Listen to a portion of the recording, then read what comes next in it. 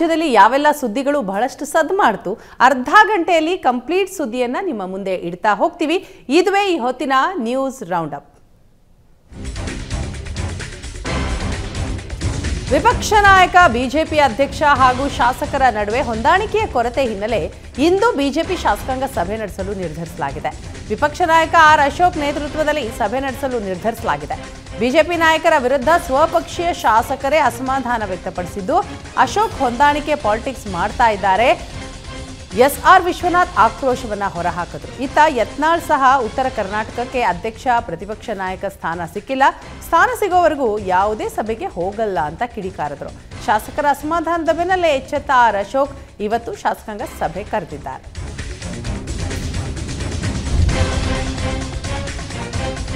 ಕಾಂಗ್ರೆಸ್ ಸರ್ಕಾರಕ್ಕೆ ಶಾಸಕರ ಅಸಮಾಧಾನವೇ ದೊಡ್ಡ ಸವಾಲಾಗಿದೆ. ಶಾಸಕರ ಅಸಮಾಧಾನ ಶಮನಕ್ಕೆ ನಾಳೆ ಸಿಎಂ ಸಿದ್ದರಾಮಯ್ಯ ಸಭೆ ಕರೆದಿದ್ದು ಸಭೆಗೆ ಹೋಗಲು ಶಾಸಕರು ಹಿಂದೇಟು ಹಾಕ್ತಿದ್ದಾರೆ. ದೂರು ಕೊಟ್ಟಿದ್ದಾಯ್ತು, ಅಸಮಾಧಾನ ಹೊರಹಾಕಿದ್ದಾಯ್ತು, ಆದರೂ ಸಚಿವರ ವರ್ತನೆ ಬದಲಾಗಲಿಲ್ಲ ಅಂತ ಕಾಂಗ್ರೆಸ್ ಶಾಸಕರು ಬೇಸರ ವ್ಯಕ್ತಪಡಿಸಿದ್ದಾರೆ. ಬುಧವಾರ ನಡೆದ ಸಭೆಯಲ್ಲಿ ಸಚಿವರ ವಿರುದ್ಧ ಶಾಸಕರು ಅಸಮಾಧಾನ ಹೊರಹಾಕಿದ್ದು, ಸಭೆಯನ್ನ ಅರ್ಧಕ್ಕೆ ಮೊಟಕುಗೊಳಿಸಲಾಗಿತ್ತು. ಈಗ ಮತ್ತೆ ಸಭೆ ನಡೆಸಲು ತೀರ್ಮಾನಿಸಲಾಗಿದ್ದು, ಸಿಎಲ್ಪಿ ಸಭೆಗೆ ಹೋಗಲು ಶಾಸಕರು ನಿರುತ್ಸಾಹ ತೋರ್ತಾ ಇದ್ದಾರೆ. ಕ್ಷೇತ್ರದಲ್ಲಿ ಯಾವುದೇ ಕೆಲಸ ಆಗ್ತಾ ಇಲ್ಲ. ಮಾತನಾಡಿ ಏನು ಪ್ರಯೋಜನ? ಏನಾದರೂ ಬದಲಾವಣೆ ಆಗುತ್ತೆ ಅಂತಂದ್ರೆ ಸಭೆಗೆ ಹೋಗಬಹುದು ಸಿಎಲ್ಪಿ ಸಭೆಗೆ ಹೋಗಿ ಏನು ಮಾಡೋಣ ಅಂತ ಆಪ್ತರ ಬಳಿ ಬೇಸರ ಹೊರಹಾಕಿದ್ದಾರೆ. ಸಿಎಂ ಸಿದ್ದರಾಮಯ್ಯ ವಿರುದ್ಧ ಶಾಸಕ ಬಸನಗೌಡ ಪಾಟೀಲ್ ಯತ್ನಾಳ್ ಮತ್ತೆ ಟ್ವೀಟ್ ವಾರ್ ಶುರು ಮಾಡಿದ್ದಾರೆ. ಸ್ವಪಕ್ಷದ ವಿರುದ್ಧ ತಿರುಗಿ ಬಿದ್ದಿದ್ದ ಹರಿಪ್ರಸಾದ್ ಹೇಳಿಕೆಯನ್ನ ಪ್ರಸ್ತಾಪಿಸಿ ವ್ಯಂಗ್ಯವಾಡಿದ ಯತ್ನಾಳ್, ನಮ್ಮನ್ನ ಗಮನಿಸುವ ಭರದಲ್ಲಿ ನಿಮ್ಮ ಕಾಳಜಿ ಮಾಡದೇ ಇರಬೇಡಿ. ನಿಮ್ಮ ಕುರ್ಚಿಯನ್ನ ಭದ್ರವಾಗಿಸಿಕೊಳ್ಳಿ. ಹರಿಪ್ರಸಾದ್ ಯಾರೋ ಹೊರಗಿನಿಂದ ಬಂದವರು ಅಂತ ಬೈತಿದ್ರು. ಮೂಲ ಕಾಂಗ್ರೆಸ್ಸಿಗರು ನಿಮ್ಮನ್ನ ಹೊರಗೆ ಹಾಕಲು ಸಂಚು ರೂಪಿಸುವಂತಿದೆ. ಹುಷಾರಾಗಿರಿ ಅಂತ ಟ್ವೀಟ್ ಮೂಲಕ ಟಾಂಗ್ ಕೊಟ್ಟಿದ್ದಾರೆ. ಬಿಜೆಪಿಗರು ಆರ್ಎಸ್ಎಸ್ನವರು ಹೇಳಿದಂತೆ ಸದನದಲ್ಲಿ ಚರ್ಚಿಸಬೇಕು. ರೈತರ ಉತ್ತರ ಕರ್ನಾಟಕ ಭಾಗದ ವಿಚಾರಗಳ ಬಗ್ಗೆ ಚರ್ಚೆ ಮಾಡುವಂತೆ ಶಾಸಕ ಕೋನರೆಡ್ಡಿ ಕಿಡಿಕಾರಿದ್ದಾರೆ. ಈ ಅಧಿವೇಶನ ಉತ್ತರ ಕರ್ನಾಟಕ ಭಾಗದ ಸಮಸ್ಯೆಗೆ ಪರಿಹಾರ ನೀಡುವ ಅಧಿವೇಶನ. ಬಿಜೆಪಿ ನಾಯಕರು ಸುಮ್ಮನೆ ಯಾವುದೋ ಅನಗತ್ಯ ವಿಷಯ ತಂದು ಕಾಲಹರಣ ಮಾಡಬೇಡಿ. ಮಹದಾಯಿ ಕಳಸಾ ಬಂಡೂರಿ ಯೋಜನೆ ಕಾಮಗಾರಿ ಟೆಂಡರ್ ಕರೆಯಲು ಸರ್ಕಾರ ಸಿದ್ಧ ಇದೆ. ಕೇಂದ್ರಕ್ಕೆ ನಿಯೋಗ ಕೊಂಡೊಯ್ಯಲು ಸಿಎಂ, ಡಿಸಿಎಂ ಸಿದ್ಧರಿದ್ದಾರೆ. ಆದರೆ ಯೋಜನೆ ಜಾರಿಗೆ ಕೇಂದ್ರ ಸರ್ಕಾರ ಅನುಮತಿ ಕೊಟ್ಟಿಲ್ಲ. ಇದೆಲ್ಲದರ ಬಗ್ಗೆ ಚರ್ಚೆ ಮಾಡಿ. ಸದನವನ್ನ ಸರಿಯಾಗಿ ನಡೆಯಲು ಬಿಡಿ ಅಂತ ಮನವಿ ಮಾಡಿದ್ದಾರೆ.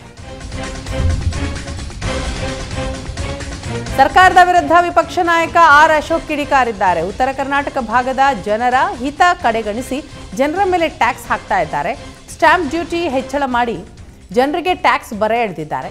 ಇದು ಟ್ಯಾಕ್ಸ್ ಹಾಕುವ ಅಧಿವೇಶನ ಅಂತ ಆಕ್ರೋಶ ವ್ಯಕ್ತಪಡಿಸಿದ್ದಾರೆ.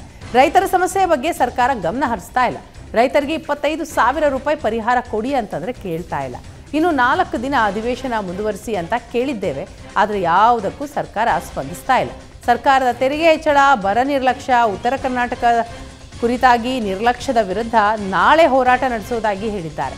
ಇದು ದಿವಾಳಿ ಸರ್ಕಾರ. ಕಾಂಗ್ರೆಸ್ಗೆ ಕರ್ನಾಟಕಕ್ಕಿಂತ ತೆಲಂಗಾಣದ ಮೇಲಿನೇ ಆಸಕ್ತಿ ಜಾಸ್ತಿ ಅಂತ ಕಿಡಿಕಾರಿದ್ದಾರೆ.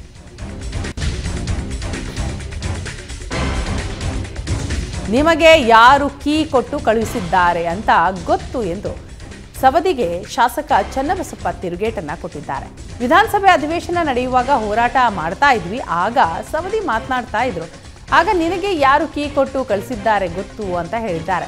ಹೋರಾಟ ಮಾಡುವಾಗ ಸವದಿ ನಮಗೆ ಸಹಕಾರ ಕೊಡಲಿಲ್ಲ. ಸವದಿ ಬಿಜೆಪಿ ಬಿಟ್ಟು ಯಾಕೆ ಹೋದ್ರು ಅಂತ ಈಗ ಗೊತ್ತಾಗ್ತಾ ಇದೆ. ನಿಮ್ಮನ್ನ ನೀವು ಅರ್ಥ ಮಾಡಿಕೊಂಡಿಲ್ಲ.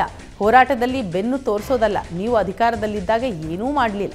ಈಗ ಆರೋಪ ಮಾಡೋದು ಸರಿಯಲ್ಲ ಅಂತ ಕಿಡಿಕಾರಿದ್ದಾರೆ. ನಿಮಗೆ ಪ್ರಾಮಾಣಿಕತೆ ಇದ್ರೆ ಪಿ ದೂರುವ ಕೆಲಸ ಮಾಡಬೇಡಿ. ನಿಮ್ಮಿಂದ ಬಯಸಿಕೊಳ್ಳಲು ನಮಗೆ ಹುಚ್ಚು ಹಿಡಿದಿಲ್ಲ.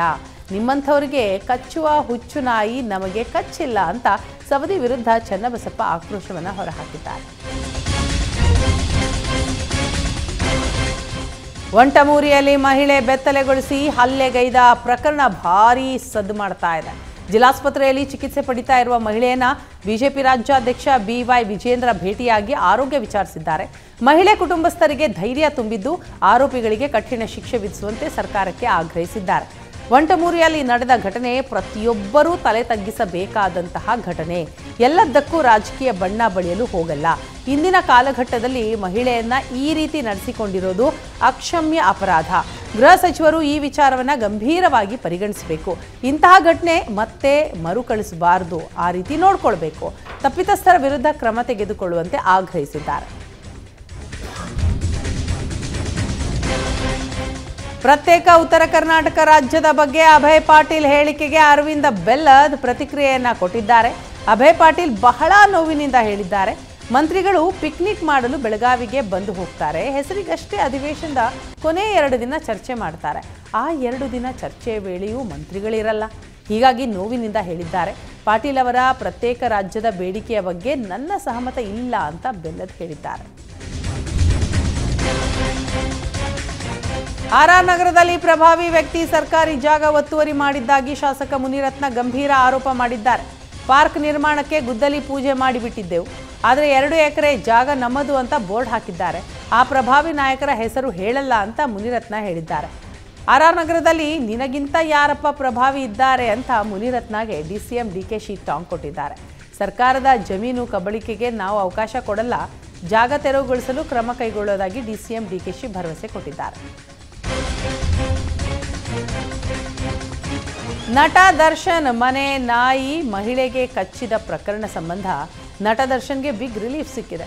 ಚಾರ್ಜ್ ಶೀಟ್ನಿಂದ ದರ್ಶನ್ ಹೆಸರು ಕೈಬಿಡಲು ಪೊಲೀಸರು ನಿರ್ಧರಿಸಿದ್ದಾರೆ. ಅಕ್ಟೋಬರ್ ಇಪ್ಪತ್ತೆಂಟರಂದು ಆರ್ ಆರ್ ನಗರದಲ್ಲಿ ನಟ ದರ್ಶನ್, ಮನೆ ನಾಯಿ ಅಮಿತಾ ಜಿಂದಾಲ್ ಎಂಬುವರಿಗೆ ಕಚ್ಚಿತ್ತು. ನಾಯಿ ಕಚ್ಚಿದ ಬಗ್ಗೆ ವಕೀಲೆ ಅಮಿತಾ ಜಿಂದಾಲ್ ಪೊಲೀಸರಿಗೆ ದೂರನ್ನು ಕೊಟ್ಟಿದ್ದು, ನಟ ದರ್ಶನ್ ವಿರುದ್ಧವೂ ದೂರು ದಾಖಲಿಸಲಾಗಿತ್ತು. ಪೊಲೀಸರ ಠಾಣೆಗೆ ಆಗಮಿಸಿ ನಟ ದರ್ಶನ್ ಹೇಳಿಕೆಯನ್ನು ಕೊಟ್ಟಿದ್ದರು ವಿಚಾರಣೆ ಬಳಿಕ ಚಾರ್ಜ್ ಶೀಟ್ನಿಂದ ದರ್ಶನ್ ಹೆಸರು ಕೈಬಿಡಲಾಗಿದೆ. ದರ್ಶನ್ ಆರ್ ಆರ್ ನಗರ ಮನೆಯಲ್ಲಿ ಹೆಚ್ಚಾಗಿ ಇರ್ತಾ ಇರಲಿಲ್ಲ. ಘಟನೆ ನಡೆದ ದಿನ ದರ್ಶನ್ ರಾಜಸ್ಥಾನದಲ್ಲಿದ್ದರು ಅಂತ ತನಿಖೆಯಲ್ಲಿ ಸಾಬೀತಾಗಿದೆ. ಎಲ್ಲ ಆಧಾರದ ಮೇಲೆ ಚಾರ್ಜ್ ಶೀಟ್ನಿಂದ ದರ್ಶನ್ ಹೆಸರು ಕೈಬಿಡಲು ಪೊಲೀಸರು ನಿರ್ಧರಿಸಿದ್ದು ಎ ಒನ್ ಆರೋಪಿ ಹೇಮಂತ್ ವಿರುದ್ಧ ಮಾತ್ರ ಚಾರ್ಜ್ ಶೀಟ್ ಸಲ್ಲಿಸಲು ಪೊಲೀಸರು ನಿರ್ಧರಿಸಿದ್ದಾರೆ.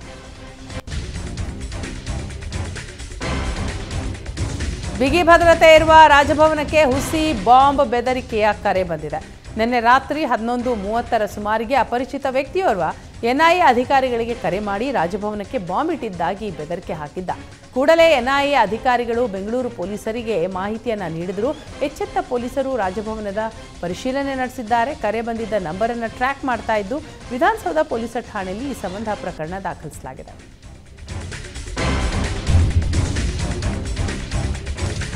ಕಾಂಗ್ರೆಸ್ ಸರ್ಕಾರ ಇನ್ನೂರು ಯೂನಿಟ್ ವಿದ್ಯುತ್ ಫ್ರೀ ಕೊಟ್ಟರೂ ವಿದ್ಯುತ್ ಕಳ್ಳತನ ಮಾತ್ರ ಕಡಿಮೆ ಆಗ್ತಾ ಇಲ್ಲ. ವಿಜಯಪುರದ ಸಿದ್ದಗಿ ತಾಲೂಕಿನ ಗೋಲಗೇರಿಯಲ್ಲಿ ಮೀಟರ್ ಬೋರ್ಡ್ ಅಳವಡಿಸದೆ ಅಕ್ರಮವಾಗಿ ವೈರ್ಗಳನ್ನು ಎಳೆದು ವಿದ್ಯುತ್ ಕಳ್ಳತನ ಮಾಡಲಾಗ್ತಾ ಇದೆ. ವಿದ್ಯುತ್ ಕಳ್ಳರ ಕಾಟಕ್ಕೆ ಕೆಇಬಿ ಅಧಿಕಾರಿಗಳು ಬೇಸತ್ತು ಹೋಗಿದ್ದಾರೆ. ವಿದ್ಯುತ್ ಕಳ್ಳರಿಗಾಗಿ ಹತ್ತೊಂಬತ್ತು ಹಳ್ಳಿಗಳಲ್ಲಿ ಹುಡುಕಾಟ ನಡೆಸಿದ್ದು, ಗೋಲಗೇರಿ, ಕರ್ನಾಳ ವಂದಾಲ್ ಕದ್ರಾಪುರ ಸೇರಿದಂತೆ ಹಲವೆಡೆ ದಾಳಿ ಮಾಡಿದ್ದಾರೆ. ದಾಳಿಯ ವೇಳೆ ಎಂಬತ್ತಕ್ಕೂ ಹೆಚ್ಚು ಅಕ್ರಮ ವಿದ್ಯುತ್ ಕನೆಕ್ಷನ್ ಕಂಡುಬಂದಿದ್ದು, ಅಕ್ರಮ ಕನೆಕ್ಷನ್ ಕಟ್ ಮಾಡಿ ವಯರ್ ಮೋಟಾರ್, ಸ್ಟಾರ್ಟರ್ಗಳನ್ನು ವಶಕ್ಕೆ ಪಡೆದಿದ್ದಾರೆ. ಅಕ್ರಮ ತಡೆಯಲು ಹೋದ ಅಧಿಕಾರಿಗಳ ಜೊತೆ ಗ್ರಾಮಸ್ಥರು ವಾಗ್ವಾದ ನಡೆಸಿದ್ದಾರೆ. ರೈತರ ಸಮಸ್ಯೆಯ ಬಗ್ಗೆ ಚರ್ಚಿಸಲು ಸಮಯ ನಿಗದಿ ಮಾಡುವಂತೆ ಸಿಎಂಗೆ ರೈತರು ಮನವಿ ಮಾಡಿದ್ದಾರೆ. ಬೆಳಗಾವಿಯ ಸರ್ಕಿಟ್ ಹೌಸ್ನಲ್ಲಿ ರೈತ ಮುಖಂಡ ಚೂನಪ್ಪ ಪೂಜಾರಿ ನೇತೃತ್ವದಲ್ಲಿ ರೈತ ಮುಖಂಡರು ಸಿಎಂ ಭೇಟಿಯಾಗಿದ್ದು, ರೈತರ ಸಮಸ್ಯೆಗಳ ಬಗ್ಗೆ ಸರ್ಕಾರ ಗಮನ ಹರಿಸುವಂತೆ ಒತ್ತಾಯಿಸಿದರು. ನಾಳೆ ರೈತ ಮುಖಂಡರ ಸಭೆ ಕರೆಯೋದಾಗಿ ಸಿಎಂ ಸಿದ್ದರಾಮಯ್ಯ ಭರವಸೆಯನ್ನು ಕೊಟ್ಟಿದ್ದಾರೆ. ರೈತ ಮುಖಂಡರ ಸಭೆ ಕರೆಯದೇ ಇದ್ದರೆ ಸಿಎಂ ಭಾಗವಹಿಸುವ ಎಲ್ಲ ಕಾರ್ಯಕ್ರಮಗಳಿಗೆ ಮುತ್ತಿಗೆ ಹಾಕೋದಾಗಿ ರೈತ ಮುಖಂಡರು ಸಿಎಂಗೆ ಎಚ್ಚರಿಸಿದ್ದಾರೆ. ಅಲ್ಲದೆ ಕಲಾಪದಲ್ಲಿ ಉತ್ತರ ಕರ್ನಾಟಕ ಸಮಸ್ಯೆಗಳ ಬಗ್ಗೆ ಚರ್ಚೆ ಆಗ್ತಾ ಇಲ್ಲ. ಉತ್ತರ ಕರ್ನಾಟಕದ ಬಗ್ಗೆಯೂ ಸರಿಯಾದ ಚರ್ಚೆ ನಡೆಸಬೇಕು ಅಂತ ಆಗ್ರಹಿಸಿದ್ದಾರೆ.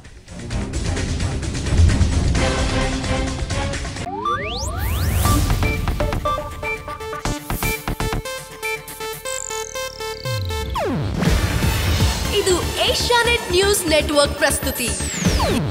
ನೀವು ನೋಡ್ತಿದ್ದೀರಾ ಏಷ್ಯಾನೆಟ್ ಸುವರ್ಣ ನ್ಯೂಸ್.